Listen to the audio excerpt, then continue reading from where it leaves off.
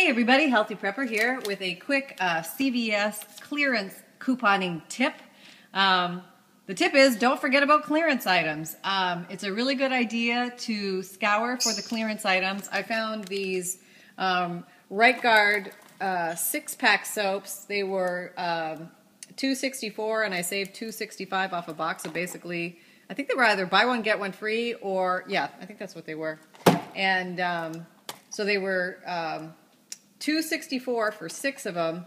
And then there were also coupons out um, in the January inserts for $2 off of Right Guard, and I think they were printable as well.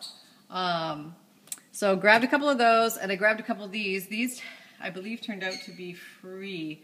Uh, these are the Dry Idea. My CVS, um, one of them anyway, had the Advanced Dry Powder Fresh on clearance, and they were marked down to 99 cents, and I had a $2 off of two uh, coupon. And I think that was either out of the inserts or the printables for January.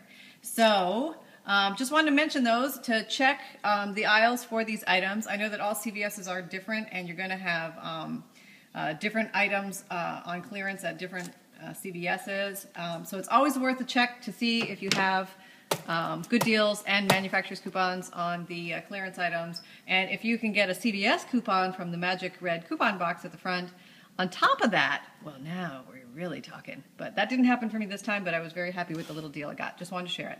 Take care, folks. Happy and healthy prepping. Be safe out there.